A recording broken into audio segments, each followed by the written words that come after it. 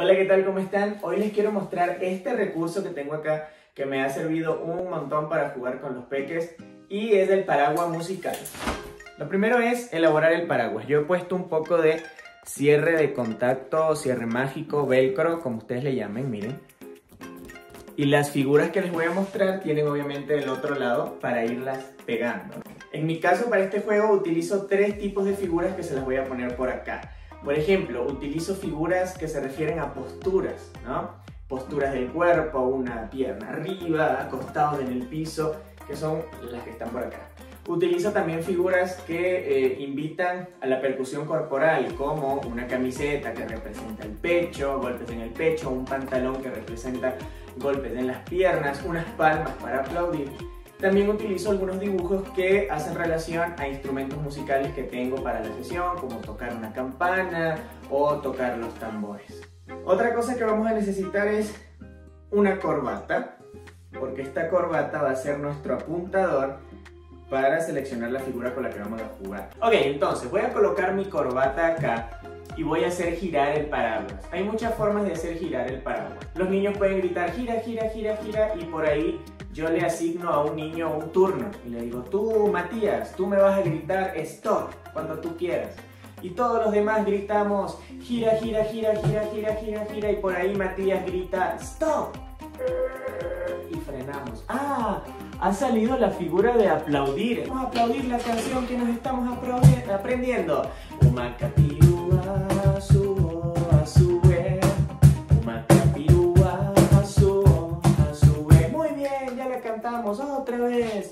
Y gira, gira, gira. Otra forma podría ser quizás girar la, ruleta mientras todos cantamos la canción. Por ejemplo, yo canto Mi mono come bananas y todos los niños cantan montado en el bananero. Canten y si no encuentra bananas, seguro, seguro, seguro se tira al suelo. Salió la serpiente, todos acostados como serpiente. Volver a cantar la canción, pero haciendo la postura o, el elemento del paraguas que salió para hacer.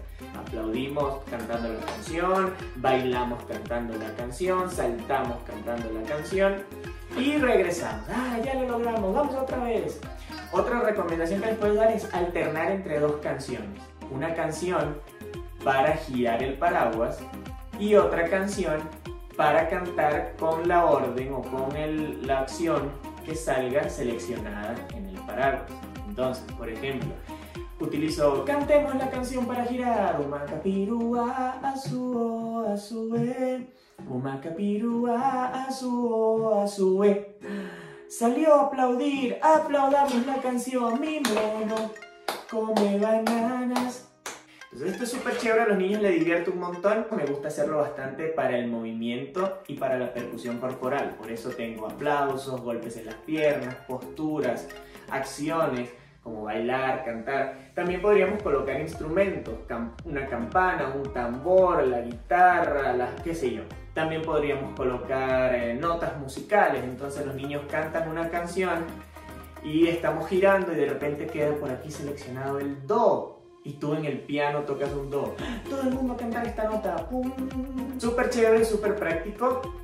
Y bueno, dejen volar su imaginación y espero que les guste este recurso.